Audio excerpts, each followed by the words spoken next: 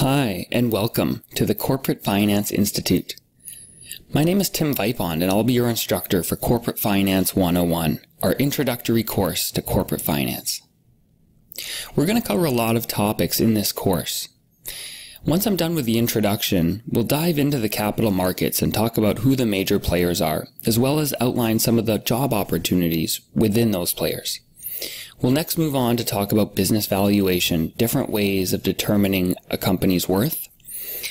We'll go over mergers and acquisitions and then move on to capital raising, both debt financing and equity financing. Finally, we'll really focus in on careers and talk about the various opportunities that are available for you in corporate finance. My name is Tim Vipond and I'm the CEO of the Corporate Finance Institute. I have a broad background in corporate finance. Started my career in investment banking at CIBC World Markets in Canada, where I worked on several mergers and acquisitions as well as capital raising. From there, I worked in investment management, dealing with high net worth individuals and managing portfolios.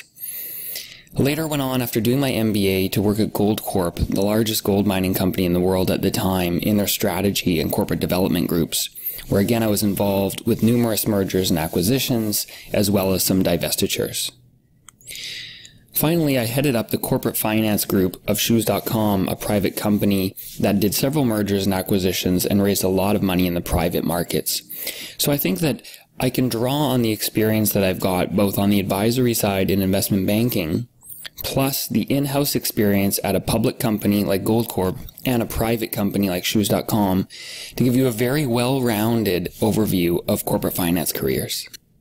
By the end of this course, I hope you'll have a good understanding of what the options are for you out there, what additional coursework might be helpful for you to get your skills up to the level you need them to be, and hopefully be ready to go to start your career in corporate finance.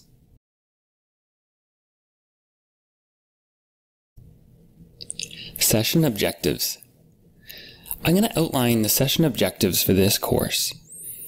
The first is the capital markets. We need to understand who the players are and what they do. From there, we can talk about business valuation and the various approaches to determining the value of a company. We'll go into mergers and acquisitions, the primary function of investment bankers and corporate development professionals. And then we'll go on to equity financing, as well as debt financing, the two major sources of funding in corporate finance careers. So on the capital markets section, we're going to dive into M&A advisory and underwriting, the two major components of investment banking, and talk about how those relate to the funding life cycle for a corporation. When we talk about business valuation, we're going to describe the difference between equity values and enterprise values. It's important to always distinguish between the two. We're then going to talk about DCF analysis, and that will lead into financial modeling. On the mergers and acquisition side, we want to understand the process, what a transaction looks like from a timeline perspective, talk about things like synergies and valuation.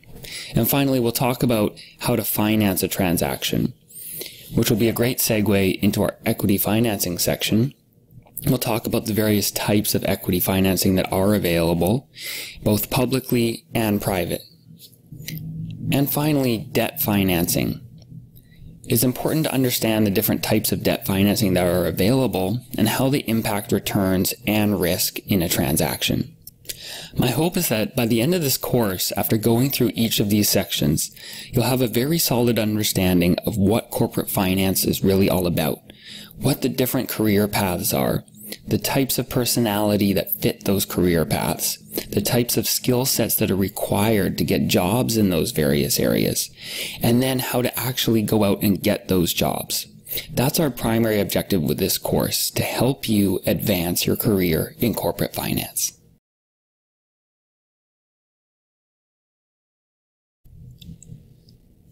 Capital markets. We're going to outline who the players are in corporate finance, in the capital markets particularly. On the one side of this diagram, we're going to start with corporates. Corporates are operating businesses. They run manufacturing companies, service companies, technology companies, and they require capital to grow and run their operations. On the other side, we have institutions. These consist of fund managers. They could be institutional investors, but also retail investors as well. These are the people that have capital. So the capital flows from the institutions or investment managers who have the money to the corporations that need that money to grow and run their business. In exchange, the corporations issue back to the investors bonds, which is debt, or shares, which are equity. And this completes the cycle between the two. Now, in the middle of these two groups sit the investment banks. They're often referred to as the sell side, and they have contacts on both sides of this diagram. They have corporate clients and they have institutional investor clients.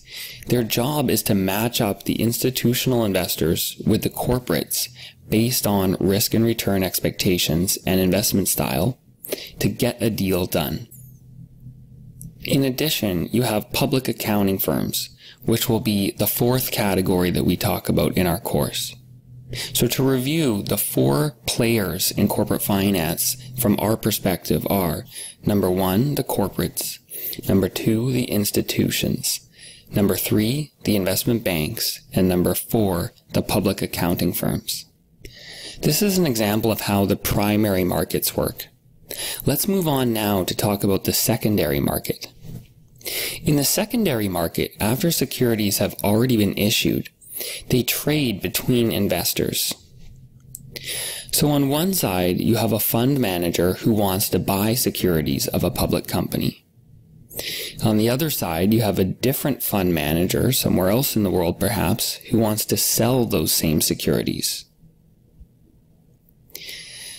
That trade is facilitated over a stock exchange, but investment bankers get between these clients to help facilitate the trade. So once again, the investment banks facilitate sales and trading and provide equity research coverage to help the fund managers make decisions about buying and selling those securities.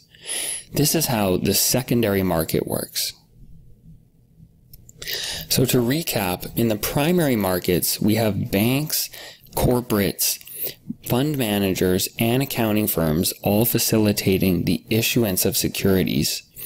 And then in the secondary markets here, we have fund managers and banks working together to trade in the secondary market. This is what makes markets liquid. This is what allows you to get in and out of a security very easily, is this secondary market trading.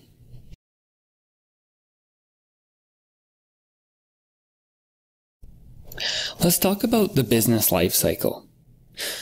On this graph, across the horizontal axis, I've got time in years, and on the vertical axis, dollars, which will represent various financial metrics. Each company begins with a launch, and then grows the business during its rapidly expanding phase. There may be a shakeout amongst competition, and from there it reach, reaches maturity, and finally a state of decline. This is the classic business life cycle. Now, at various stages of this life cycle, financial metrics look very different. The first one we're going to review is sales or revenue. At launch, of course, it's zero. It grows very rapidly during the growth phase. Shakeout is when competition enters and there's, as you can see, sort of a peak to the sales growth. As competition becomes fierce and the uh, industry becomes mature and eventually declines. Now, following sales or revenue, you have profit. Profit can often be negative in the early days of a business, shortly following launch, as you see it dipping negative in this graph, sort of breaking even at the growth phase, and then just slowly growing and perhaps even declining during maturity. Now, it's important to notice that this profit cycle lags the sales cycle. So there's a time delay between the sales growth and the profit growth. This is important for when we talk about funding. And the third part of the cycle is cash flow, the actual cash of the business. And cash even lags profit. So when you think about all of the upfront costs of starting a business. Many of them may be capitalized and not reflected in profit, but certainly impact cash flow. So you can see cash dipping even more negative than profit in the early phases, but then rising to be higher than profit in the later phases when capital spending is largely behind the business and therefore cash generation is higher than profit on the income statement. This is also important when we talk about funding a business. I should note that many businesses do experience a life cycle extension by reinventing themselves, reinvesting in technology, and may continue to repeat this cycle over and over. Now, let's move on to the funding life cycle. In the funding life cycle, we have the same stages of a company along the horizontal axis. Across the vertical axis, we have the level of risk in the business the level of risk from either lending money to the business or from providing capital to the business. So, as a refresher, we have the sales cycle. But inverse to the sales cycle is the business risk cycle. So, at launch, when sales are lowest, risk of the business is highest. Then, over time, as sales are proven out and the business grows, the level of risk declines. This is fairly intuitive. But inverse to the risk business is the funding cycle. So at launch, it's basically impossible to get debt financing for an unproven business with no track record. And over time, that ability to get debt funding increases with the most mature, stable businesses having the highest access to debt capital and the early stage newly launched businesses the, the lowest access to debt capital.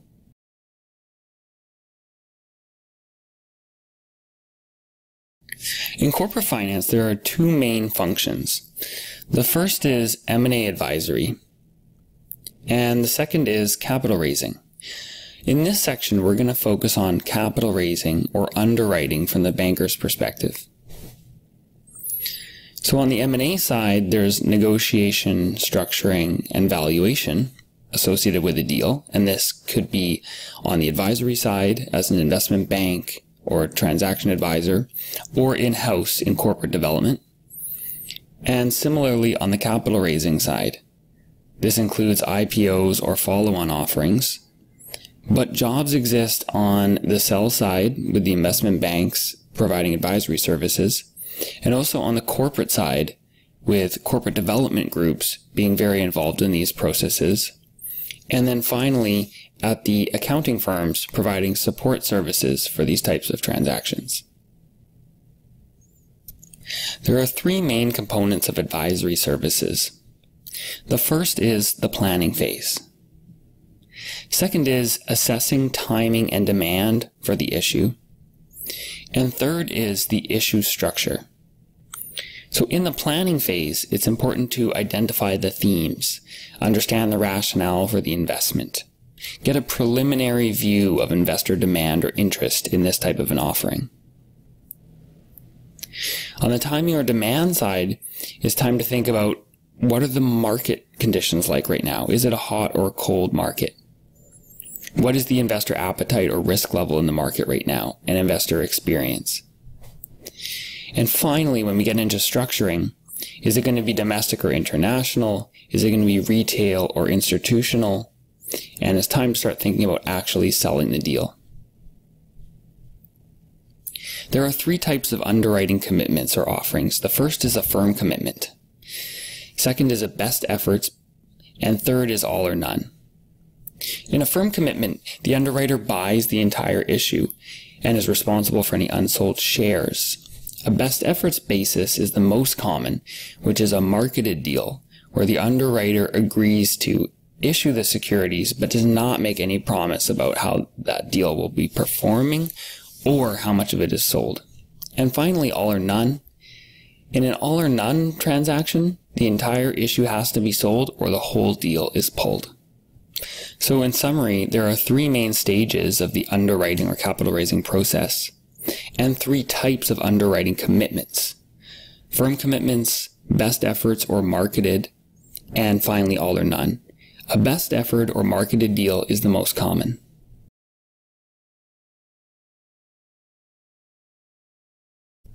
Let's talk about the mechanics of the capital raising or underwriting process.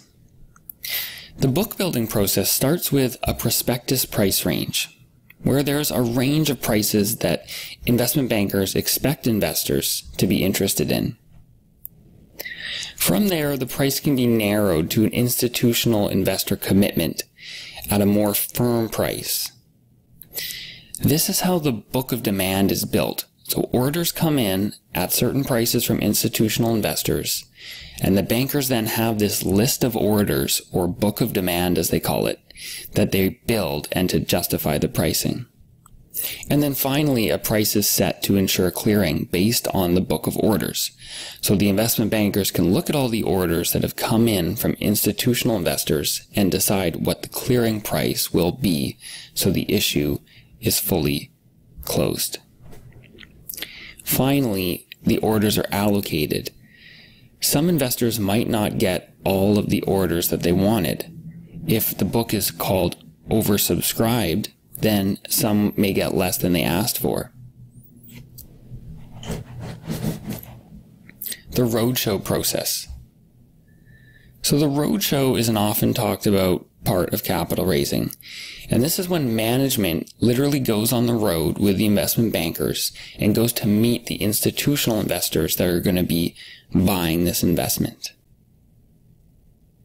There are a few areas that are critical to a successful roadshow. The first is understanding management structure and governance. Investors are adamant that management structure and governance must be conducive to creating good returns. Additionally, the investors will want to know the key risks of the business. Although not positive, it is important to highlight the risks and be upfront about them.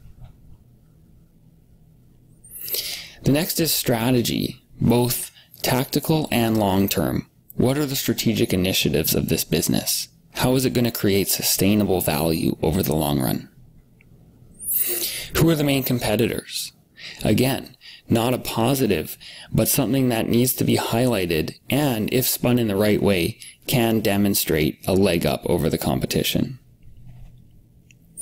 It's always important to outline the, what the funding purpose is. What is the cash going to be used for after it's raised? Investors like to see a good use of proceeds. And finally, there needs to be a thorough analysis of the industry or sector looking at trends in the industry, not just for this company that's raising the money, but for the industry as a whole. Let's move on to talk about some of the key issues in pricing and offering. One is price stability. After the offering is completed, investors do not want a lot of volatility, so price stability is very important a buoyant aftermarket. If there is going to be volatility, it should hopefully be to the upside with a strong market and certainly not to the downside. A deep investor base will help achieve this. Having a large number of investors in an issue as opposed to just one or two highly concentrated investors will help stabilize and make a deep aftermarket. And finally, access to the market is always going to be critical. So in pricing the issue, there are a couple of trade-offs. There's tension in the choices. The first is having strong aftermarket price performance on one side.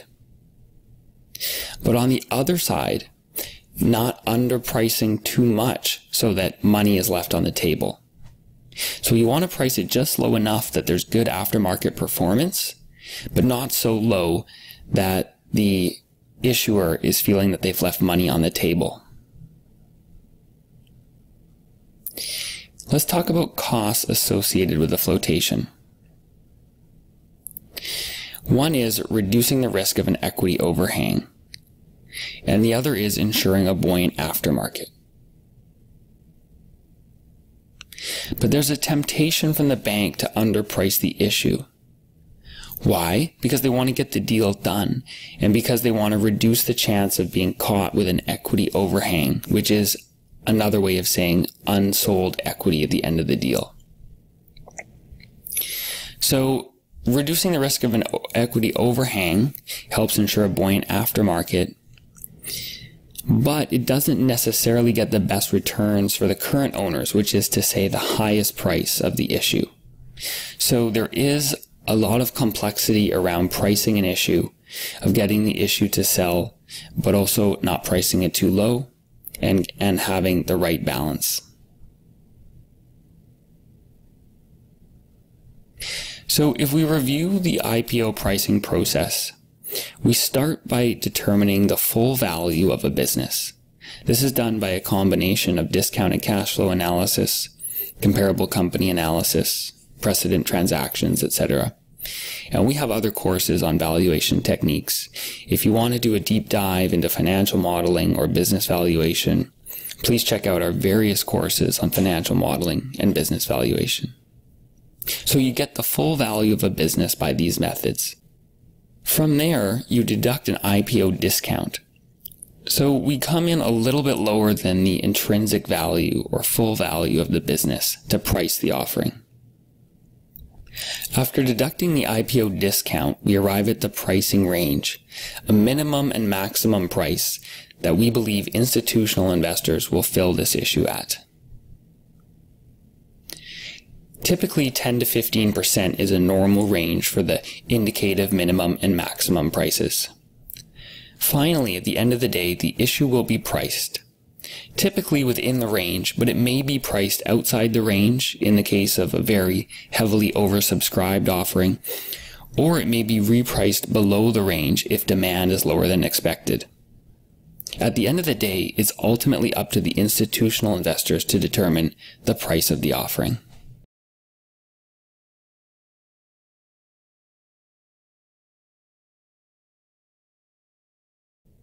Business valuation. In this session, we're going to talk about several forms of business valuation. These are the most common methods used to value a business and is very applicable for anyone considering a career in investment banking, equity research, private equity, corporate development, and any other aspect of corporate finance that involves valuation. The first objective of this session is to describe how to value a business using a multiple. A valuation multiple compares the value of a business relative to some financial metric, some, typically something on the income statement like revenue or EBITDA, but it could also be on the cash flow statement like cash flow as well. So we will talk about the different types of valuation multiples and how to use those to value a business. This valuation method is a relative form of valuation in that we're comparing our business to another business. The second objective is to understand how to value a business on its own using a discounted cash flow analysis. A DCF analysis does not take into account what other businesses are valued at and looks only at the future of this business and what cash flow it's going to produce in the future. Understanding these two methods is critical for a wide range of careers in corporate finance.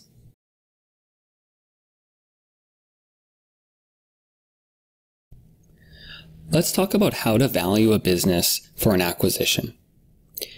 There are three main valuation techniques that are used across corporate finance. Whether you're working in investment banking, equity research, private equity, you name it, you're going to be looking at these three main methods of valuation. The first method is public company comparable analysis, or COMPS for short, this involves looking at public companies that are similar businesses in similar industries and seeing at what they're valued at in the market. We then compare those valuations to the business that we want to apply a value to. The second approach is precedent transactions. This involves looking at past M&A transactions. We look at what other companies paid for businesses as an outright acquisition. Just as with public company comparables, we also want precedent transactions to be similar types of businesses and in similar industries to what we're trying to value.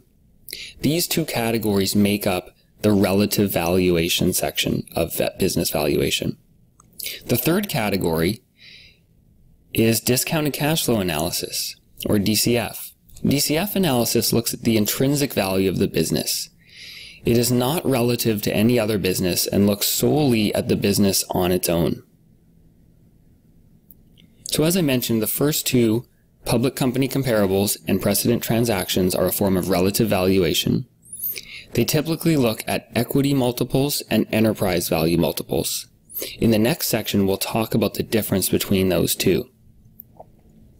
On the DCF side, we've got the standalone valuation for the business, looking only internally or intrinsically at the value of the business.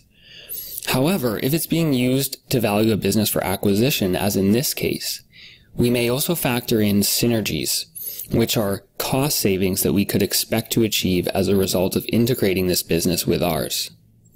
So taken in combination with a standalone value, the synergies typically add significant value over and above the standalone and indicate how much we might be able to pay for this business. So for anyone who's looking for a career in corporate finance, whether it's on the advisory side at an investment bank or at a public accounting firm, you're going to have to be very familiar with these three types of valuation.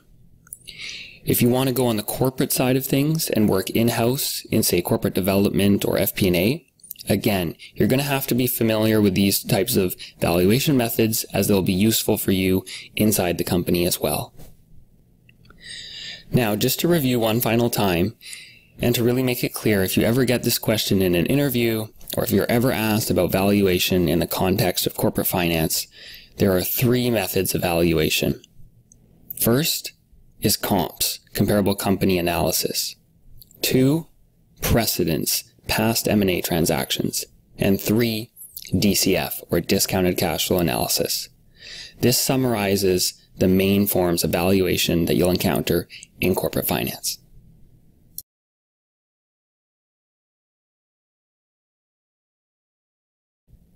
Enterprise value versus equity value. In this short chapter, I'm going to outline the difference between the enterprise value of a business and the equity value of a business. Simply put, the enterprise value is the entire value of the business without giving consideration to its capital structure. It consists of both the equity value and the net debt of the business. So the equity value is calculated by taking the enterprise value and deducting the debt and adding the cash. The enterprise value is calculated by taking the equity value, subtracting the cash, and adding the debt. The simplest example of this that I can give is with a house. If you were to describe to someone your home and the value of your home, you would be talking about the enterprise value of that house. You would say, my home is worth a million dollars. That's the enterprise value. Now let's suppose you have a $500,000 mortgage on the home, and therefore you have $500,000 of equity. That's the other side of this diagram. It would be very unusual to walk up to someone and tell them that the value of your home is $500,000 of equity people don't typically care about the size of your mortgage versus the equity. They just want to know what the whole home is worth. That's why in business valuation, we typically talk about enterprise value more commonly as it strips out the capital structure and just looks at the value of the whole business. So on the enterprise value side of this equation, we compare the enterprise value to things like revenue or sales, EBITDA, and EBIT. Notice that these Three metrics are all before interest on the income statement. That's because this does not give consideration to any debt on the balance sheet. So these items must be before interest on the income statement. On the other side of this equation, we have equity value metrics like price to earnings, price to book value, and price to cash flow. Notice that these three metrics are all after interest. So earnings, book value, which is an equity value metric, and then cash flow, earnings and cash flow are both after interest expense, and therefore the remaining value is available to equity holders. Hopefully this gives you a clear understanding of the difference between enterprise value and equity value, and it's important to always know the difference between the two and which one we're talking about.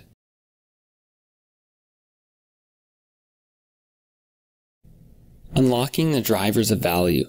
In this section, we're going to talk about what drives value of a business, how to increase it, or what destroys value. We can start by looking at the formula for the net present value of a business.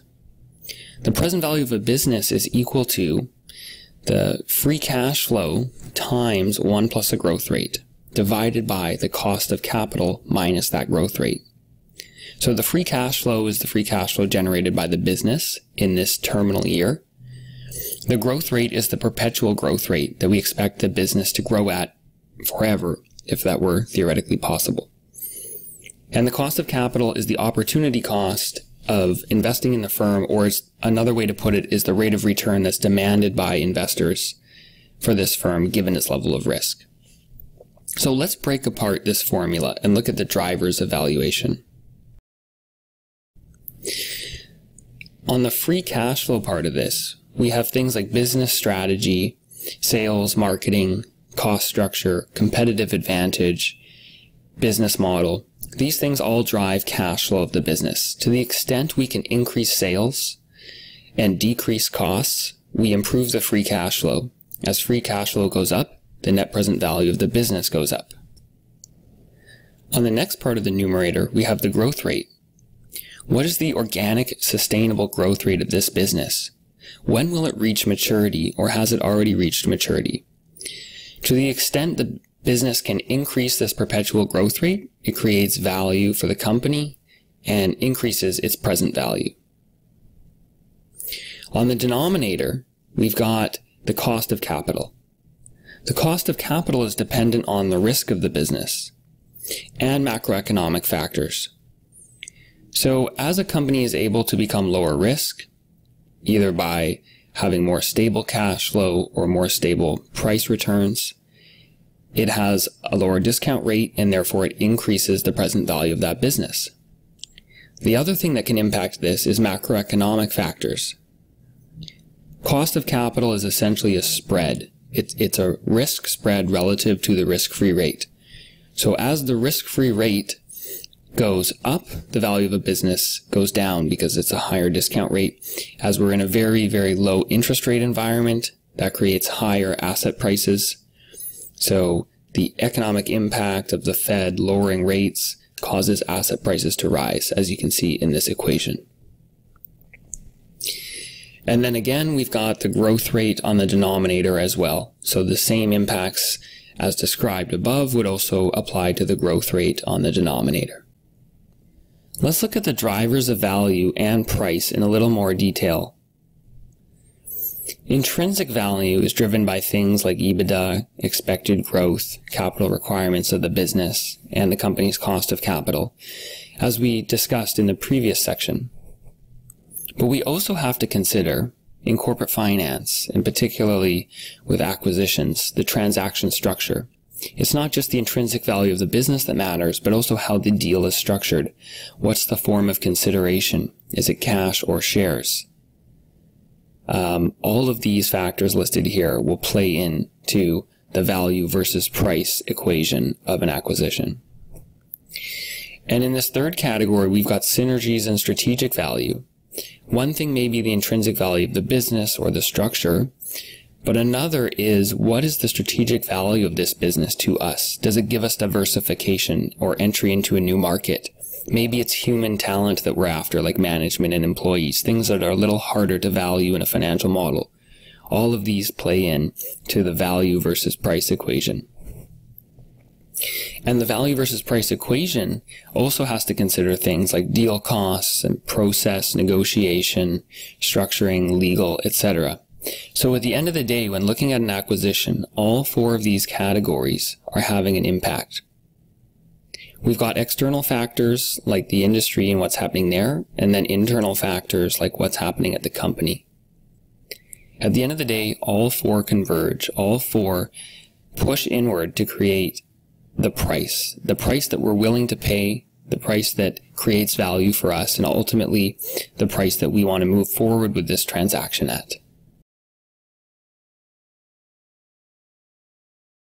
In this section, we're going to look at discounted cash flow analysis in more detail. By analyzing the formula, we can understand what drives the discounted cash flow analysis and how to build it in Excel. For more detail on this, I suggest taking our financial modeling courses. Specifically, our Fundamentals of Financial Modeling and Building a Financial Model in Excel course outline in great detail how to build a DCF model from scratch.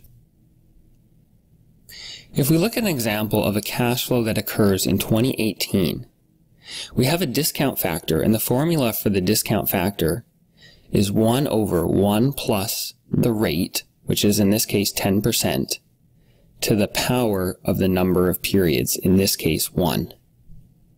The second cash flow, which occurs in 2019, is also $100, but this time is raised to the power of 2. As you can see at the bottom here, the present value of that number of the 100 is being reduced over time. In 2020, it's raised to the power of 3 and becomes only $75 of present value today from $100 of free cash flow in the future. By 2021, it's worth $68 today. 2022, it's down to 62 and then finally, in a DCF analysis, we have a terminal value. So the first five years were our forecast, a detailed forecast of what we expect cash flow to be over five years. And then we value the business into perpetuity using a terminal value. In this case, we're saying the terminal value of the business is $300 in future cash flow. But raised uh, to the power of five, that's only worth $186 today. So as you can see, the discounted cash flow amount becomes quite big at the end, but the present value is significantly less. So to calculate the entire value of this firm, which is 565, we add up these cash flows in their present value. So $565 million of present value compared to $800 million of future value. Now let's take a look at the cost of capital formula. The cost of capital depends on the capital structure of a business and its level of risk. So a company consists of assets. That's the base of the business. But then it has a capital structure that make up those assets consisting of debt and equity. So we have to take into consideration the percentage of the company's capital that's debt and the percentage that's equity. We multiply each of those by their respective costs, and we arrive at the contribution to the cost of capital of each. So to sum them up gives us the total cost of capital. Now let's use a real example with some numbers. Take a company with the following capital structure. Debt is on the top, equity is on the bottom. The proportionate weightings are 14% debt, 86% equity. The cost of debt after tax is 3.5%. The cost of equity is 9%. This company has a weighted average cost of capital of 8.2%. This number is the number that plugs in to the formula we were using on the previous section where we were calculating the present value of a business. So in this case, instead of being 1.1 as in the previous example, it would be 1.082 raised to the power of whatever year or period we're discounting from. Sometimes these concepts can be tricky to grasp on the first pass. I highly recommend looking at our other courses that touch on cost of capital and financial modeling to get more detailed explanations of these concepts.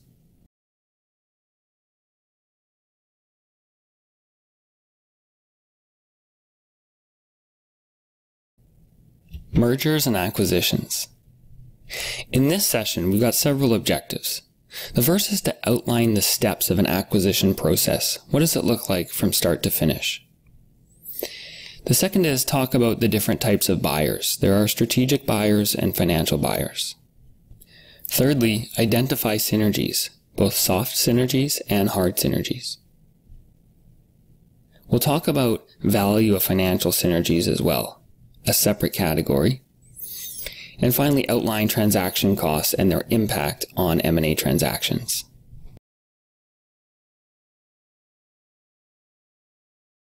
Ten-step acquisition checklist. In this chapter, we're going to review a 10-step process to ensuring that an acquisition is properly integrated from the beginning to the end. The first step is to have an acquisition strategy, an actual plan around acquisitions and why they benefit your business. You need to have some criteria. So the strategy tells you why you're acquiring businesses, but the criteria tells you specifically what types of businesses to acquire. Once you have one and two in place, you can start step number three, which is searching for a target. You actually build a target list and go about finding these companies and reaching out to them. There should be a planning process once you've started searching and speaking with these companies to actually plan for this acquisition strategy. Once your planning process has gotten to the point where you're actually talking to targets and have received financial information from them, you can start valuing and evaluating those opportunities. This is where you get into some real detail of financial modeling and valuation. After you've done your valuation and modeling of the business, you can start negotiating with the seller, trying to get the best price and make the acquisition as accretive to you as possible. Once negotiations are more or less complete and a price is agreed on, then a due diligence process begins. This involves confirming that the company's financials are as you expected them to be and that there are no hidden problems with the business. Finally, you enter into a purchase and sale contract once confirmatory due diligence is complete. Then financing can be put in place. In most cases, there will be some level of debt involved in the acquisition, but also preparing to issue shares if necessary or to transfer the cash if it's a cash deal and the cash is on the balance sheet. And finally, integration or implementation. And in fact, number 10 opens up a new staircase. The integration staircase can be very long and very arduous.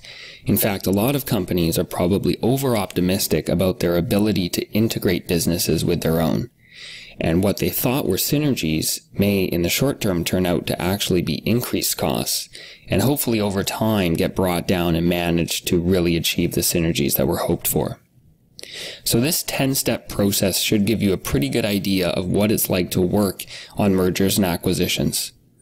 If you're working in investment banking, you'll be involved in various parts of this process, most heavily around valuation, negotiation, and um, actual closing of the deal. If you work in-house in corporate development for a company, you'll be involved in all 10 of these steps. So this is very important for most careers in corporate finance that touch on M&A.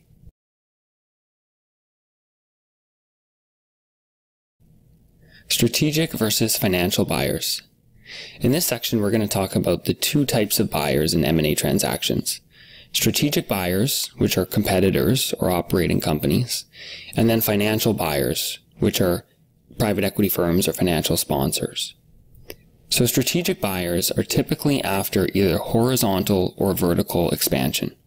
Horizontal being gaining more market share in the same space, and vertical being integrating down the supply chain. Strategic buyers need to identify and deliver operating synergies. This is how they create value, not just by paying dollar for dollar what another business is worth, but by reducing operating costs, creating strategic value, and ultimately making a business that's worth more than just A plus B. Synergies fall into two categories, hard synergies, which are cost savings, or soft synergies, which are increases in revenue or benefits of being of bigger size and gaining market share cross-selling examples like this. On the financial buyer side, you've got private equity firms.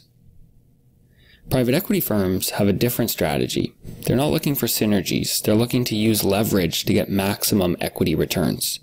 So they want to borrow as much money as they can and use that to increase the equity returns. Let's talk about rivalry among bidders. Whether it's a strategic buyer or a financial sponsor. In both cases, there can be very competitive processes. Companies normally have to pay some type of a premium for the business. This takeover premium or control premium is observed very frequently, and a lot of it is due to the competitive nature of M&A. Companies normally have to outbid other buyers a formal process is typically run for the selling company, and investment bankers will work to scour the planet for anyone they can find who could put in a bid for this business and get the highest possible price. So in order to have the highest bid, you either need to be able to have the ability to achieve synergies or have access to cheap financing that will allow you to lever it up and ultimately get the best returns. So let's look at an example of how financial sponsors or private equity firms use leverage to enhance their returns. Let's take a company, ABC Co., that has assets of $100. It has net income of $10, and therefore, based on its capital structure, which is $50 of debt and $50 of equity, it has a return on equity of 20%. This is how the business currently exists today. Now, on the right side of this page, let's assume that we change the capital structure to be $80 of debt and 20 of equity. As a result, what's happened is the net income has gone from 10 to 8 because of the interest expense. But the return on equity has gone from 20% to 40%. $8 of net income divided by $20 of equity is much higher than $10 of net income divided by $50 of equity. This is how private equity firms and financial sponsors achieve their high rates of return.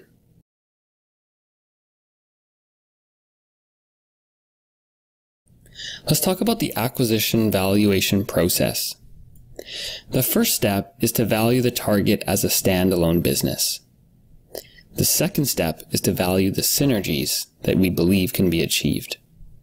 So in the first step, we're going to be looking at the enterprise value of the business. We're going to look at the sales growth, the margins, the tax environment, the working capital structure, and the actual capital structure that we intend to put on this business. In phase two, when we're looking at synergies, we focus more on things like overhead reductions, efficiencies, and being fully invested in the business. Now let's take a look at what was described on the previous slides in a seven-step process. So the first step, as an analyst or someone who's involved in an M&A transaction and building the financial model, is to value the business as a standalone entity. And for more on financial modeling, you can check our numerous financial modeling courses that will walk you through extreme detail of how to build a financial model from scratch. Once you've built the model, you're then going to look at the hard synergies, the cost savings that can be achieved. And you'll also look at the soft savings, which are the revenue increases or market expansion that can also be achieved. Those two things add value to the standalone value of the business. Finally, financial synergies that can be achieved by levering up the business or accessing cheaper debt perhaps, again add value and should be modeled. But then deducted from that are the transaction costs. So the investment banking fees, legal fees, etc., all have to be netted out and actually are reducing value of the transaction.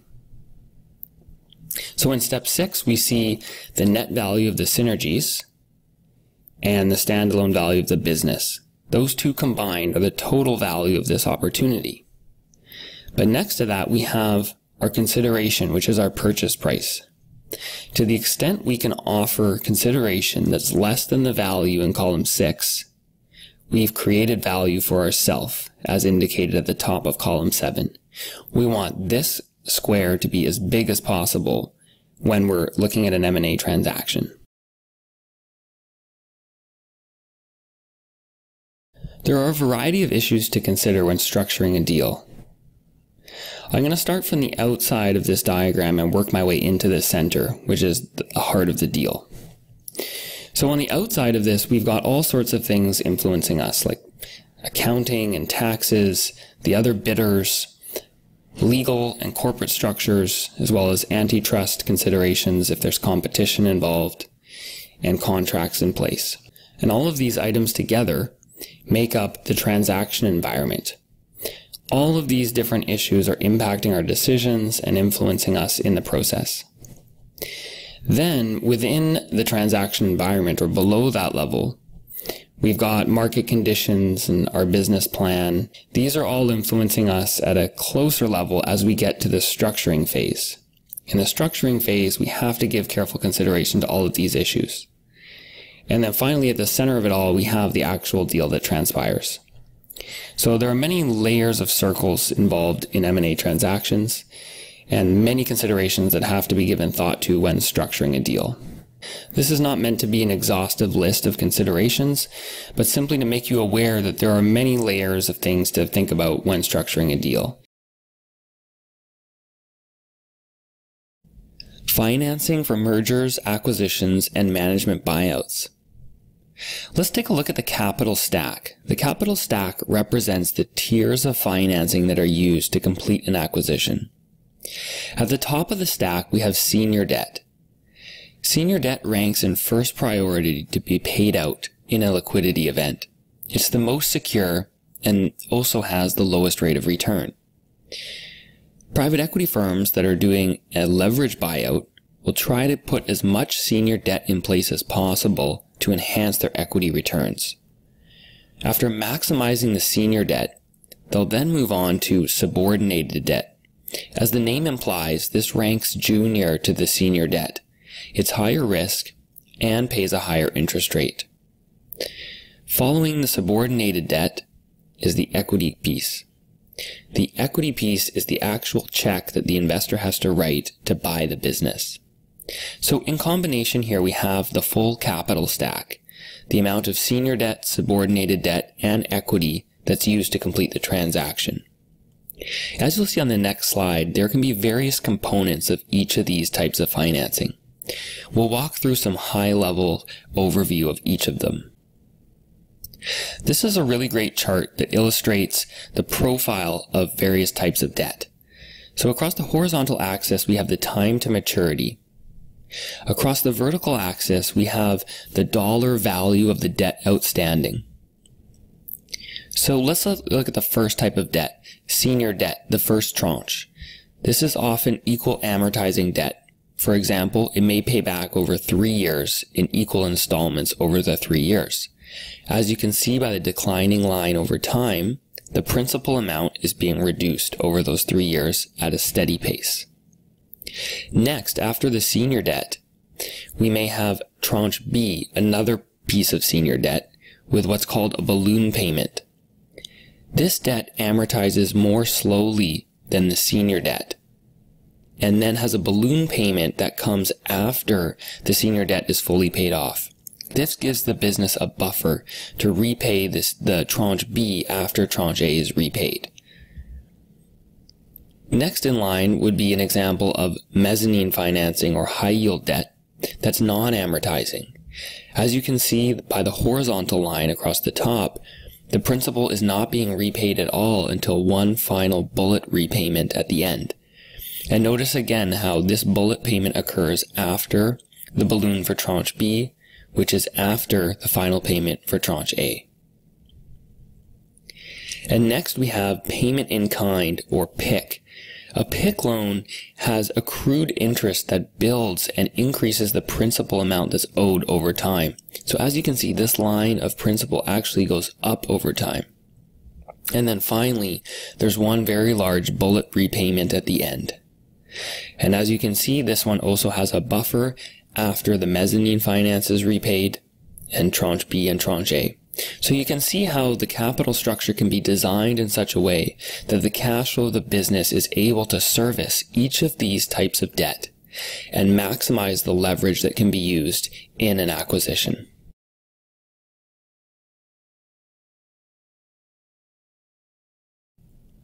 Debt financing. Session objectives. In this debt financing section, we have three main objectives. The first is to describe to you the different types of debt financing that are available for corporate finance transactions. The second is then to outline the impact of leverage on financial returns, particularly on the internal rate of return and return to equity holders. Finally, we'll look at and explain various types of debt financing structures and options that are available for corporate finance transactions. So you'll have a thorough understanding of how leverage is used in mergers and acquisitions.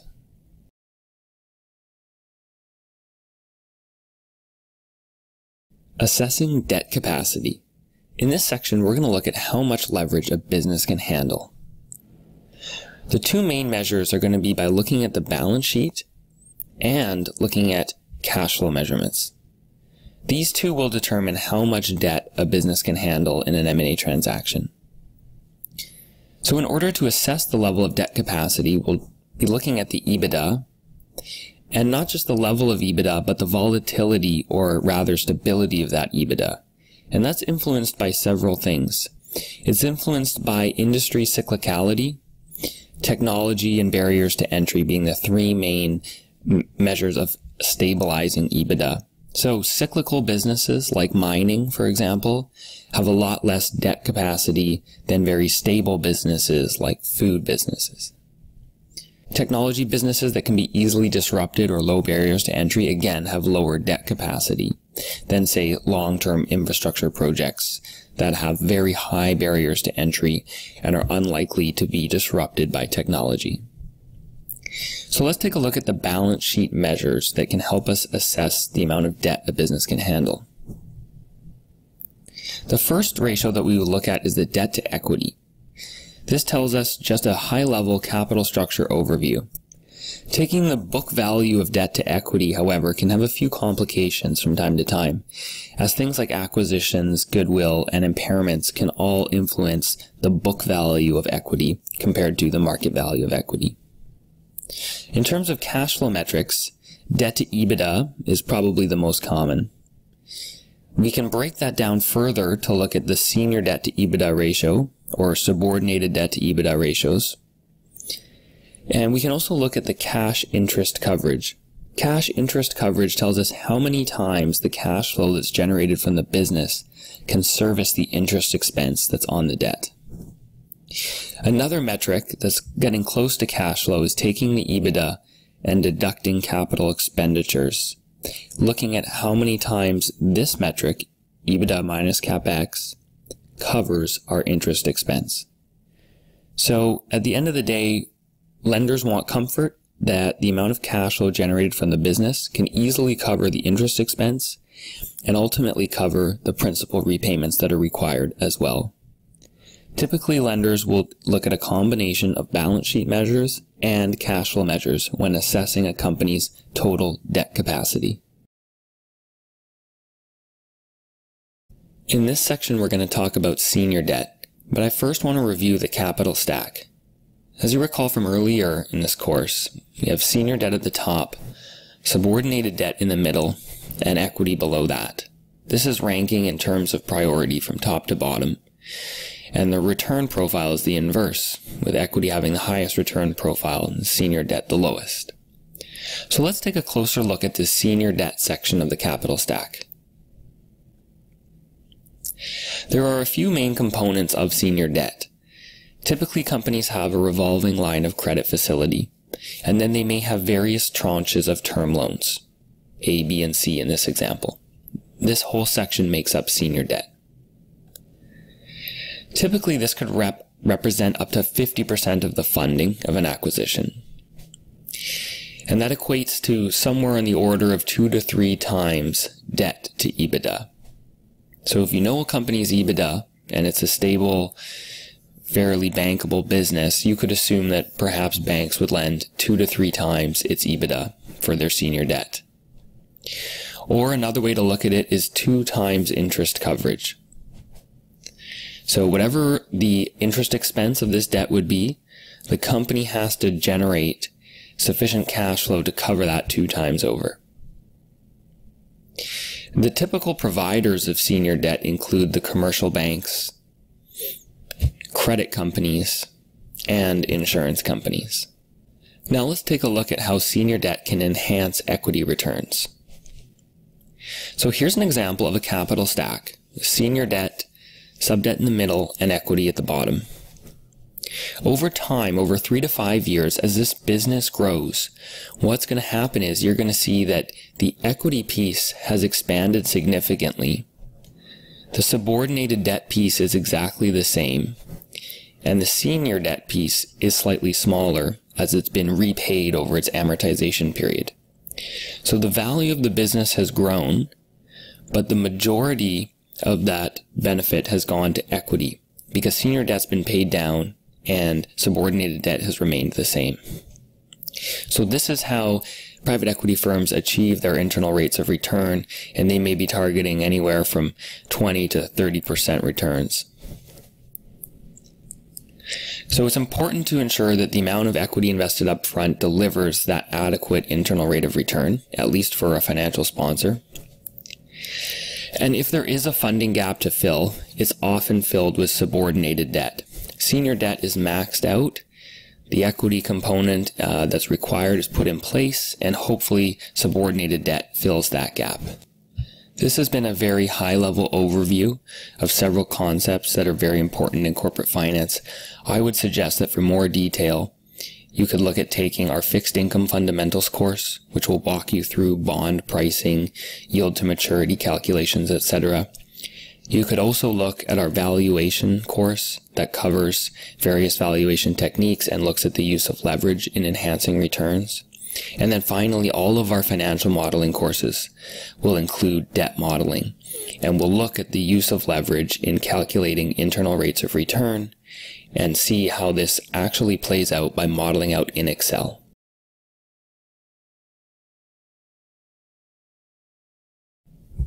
Now let's move down the capital stack into subordinated debt.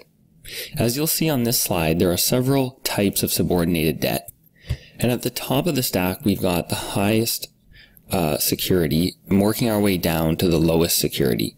But another way of expressing that is, is with this idea of increasing subordination. So as you move down from high yield bonds to vendor notes, you're becoming increasingly subordinated but in exchange for that, you're also increasing the expected return. And finally, as you come into some of the lower parts of subordinated debt, like mezzanine debt with warrants, or payment in kind notes or vendor notes, you start to increase the dilution to the equity holders. So generally speaking, investors want to have as much of the top of the capital stack as possible as the lower part of the stack starts to increase dilution and eat in at the equity returns. So let's take a closer look at some of these types of subordinated debt. Mm, and first, let's also look at how much subordinated debt a company can handle. So a business can only handle so much debt. And typically the total debt to EBITDA could be up to five to six times. And if you recall from our senior debt presentation, if senior debt is two to three times, you sort of get a sense of how much sub debt can be added on to that. We also look at EBITDA to cash interest of about two times. And finally, the equity funding piece could be as low as 30 to 35%. Of course, it could be 100%, but at the low end, probably 30% is a safe amount and the appropriate capital structure has to be constructed with all of these pieces in mind. Debt to EBITDA, cash interest coverage, and a minimum amount of equity funding. Now let's take a closer look at high yield bonds at the top of the subordinated capital stack. It's important to point out that high yield bonds are publicly traded securities. That means they can be traded between investors, whereas mezzanine finance is not tradable. So let's take a look here at high yield bond credit ratings. As you'll see across the top, there are four main rating agencies. The rating agencies provide these credit scores, ranking at the top from the most secure at the bottom to the least. And it's very important here to draw this line in the middle. This line here is the difference between on the top half investment grade and on the bottom half, non-investment grade or high yield or also called junk bond sometimes. So at the top, these investment grade are lower risk and therefore lower returns and lower fees, um, um, a much larger and more liquid market. And then on the non-investment grade or high yield or junk bond, you have these higher risk and yet higher return and also higher fee types of bonds. So this is where high yield debt comes in on the bottom half of this table. Mezzanine debt, however, is non-traded and is also subordinated to the senior debt, like high yield debt. It often has a bullet repayment, and cash can be accrued. And there may also be equity warrants attached as well. The equity warrants give the investors exposure to equity upside as almost a sweetener on top of the return that they're expected to get on the actual interest payments. So there's debt with warrants or convertible loans that entirely convert into equity or convertible preferred shares. All of these three examples have equity exposure built into the debt security. Now let's take a closer look at the breakdown of mezzanine debt returns. So mezzanine lenders are typically targeting an internal rate of return of 14 to 20%. It consists of a few different components. The first is the cash interest that's paid by the company to the investor. The second piece is the accrued interest. So part of the interest is paid in cash, part of it is accrued and ultimately repaid in principal. That comprises the contractual return that the company owes to the debt investor. But on top of that, they get their sweetener and their upside from the equity exposure. So this could typically include warrants that are 3 to 10% of the exit value of the business. These significantly enhance the internal rate of return of the debt investor. The best way to thoroughly understand these returns is to model them out in Excel in the full capital structure. So once again, I would please refer you to our financial modeling courses that will go through this in much more detail in Excel. Thanks for watching this course on YouTube. To finish watching the full course, visit our site corporatefinanceinstitute.com, where you can enroll for free to take the full Introduction to Corporate Finance course and earn your certificate. Thanks for joining us, and we look forward to seeing you at our next course.